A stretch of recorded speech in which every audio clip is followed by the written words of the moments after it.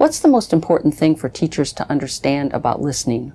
I could talk about a whole lot of these. I've just chosen a few, but again, there are many others that I'm not going to be able to have time to talk about. First off, I think it's important that teachers need to know the importance of both top down and bottom up listening skills. Top down, these are things that get students to try to understand the main idea by predicting, discovering based on what they've understood from the discourse, as well as other cues in the environment, such as visual cues. So it's very important that students learn top down, that they get the big picture based on predicting. It's also important that they learn bottom up listening skills. And these things include being able to decode information um, based on the sentence level vocabulary and grammar. Students need to be able to decode streams of speech into words and sentences. It's also important for teachers to understand that suprasegmentals, such as intonation, are crucial for helping students decode information. For example, these words, I really like you, can mean anything from I really like you to I hate you. So, for example, I could say, I really like you, which means I really do like you. I could say, I really like you, which is sort of a question. Well, I don't know if I do or I don't.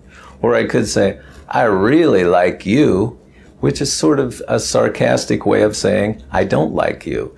So it's important that students understand the importance of intonation in listening. Teachers also need to know that spoken language differs depending on the register. Academic language is quite different than teenager talk, for example. Teachers need to know the importance of pointing out such differences to students.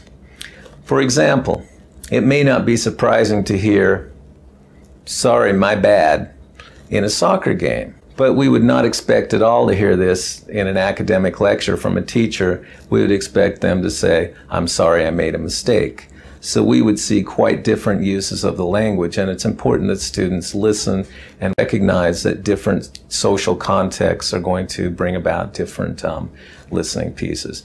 Again, there are many other things that I could say teachers need to know about listening, but those are some of the things that come to my mind at this time. Professor Ockey introduced two types of listening skills. Top down listening is what is needed to get the main meaning of what has been said. Bottom up listening focuses on the phonology, words, and phrases. Students need to learn both top down and bottom up strategies. It is the main ideas that are important to understand what a person is saying overall. The main idea is also important in order to help students understand some of the details.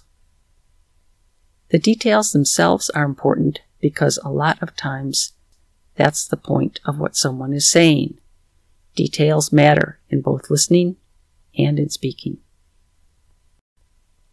Teachers also need to recognize that spoken language differs depending on the register. The spoken language used for business or in public life is different than what is used among friends. Students need to recognize these differences. Teachers need to provide practice listening to different registers of spoken English. And they also need to point out what some of the differences are between oral language across different registers. Professor Ockey has already provided some useful concepts about listening. I asked him to give us some specific details about how to teach listening, and here's what he said.